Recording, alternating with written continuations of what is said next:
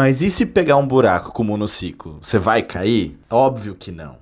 Primeiro que ninguém sai de casa com o intuito de passar por um buraco seja com carro, com uma bike ou com patinete. Mas se você estiver distraído e pegar um buraco por acidente, é só flexionar os joelhos e deixar o monociclo passar pelo buraco. Quanto maior for o pneu do monociclo, mais confortável e mais fácil ele vai passar por esses obstáculos. Esse monociclo do vídeo é o que tem o menor pneu, de 14 polegadas. Ele passa por buracos, sobe e desce guia numa boa. Tem monociclo de 16, de 18 e de até 22 polegadas. Alguns até com suspensão. Dá até para pular umas muretinhas com ele. Quem sabe até subir escada. É óbvio que o monociclo passa em buraco. Ele não vai passar em cratera. Se você não conhece direito o caminho que você está passando, vai devagar. Vai prestando atenção na via e você não vai ter dor de cabeça nenhuma. Andar de monociclo é muito mais fácil do que você imagina. Inclusive na aula, nós damos todas as dicas para você andar super bem.